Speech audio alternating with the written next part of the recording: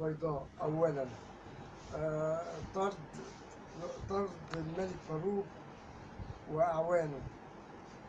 الملك فاروق أيامها.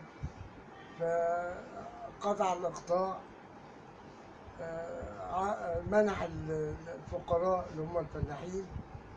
آه، كل واحد خد له خمس تبدل. والبلد كانت عايشة حلوة في أيامها. وفي الوقت نفسه ليه تاريخ تاني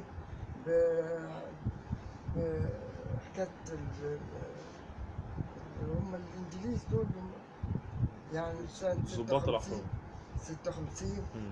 آه، حارب ال- الإنجليز ومشوا من البلد. في الوقت نفسه قانون ما كنا في الأول كنا في القانون الإصلاح الزراعي.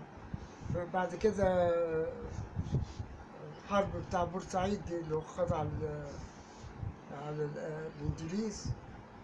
وفي الوقت نفسه بنى ال- السد ال- ال- أمم القناة وبنى السد العالي هذا في عهده كله. آه، أيام جمال عبد الناصر كانت أيام حلوة. كان في آه، انفتاح قناة السويس وكان في رخاء يعني كان في عيشة كويسة للناس وكانت الأسعار رخيصة ومتجاوده آه، وكفاية انه طلع الإنجليز من مصر.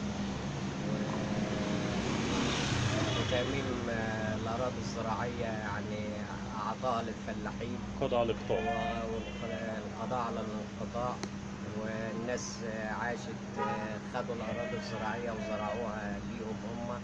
والناس كانت عايشة في في عيشة كويسة يعني.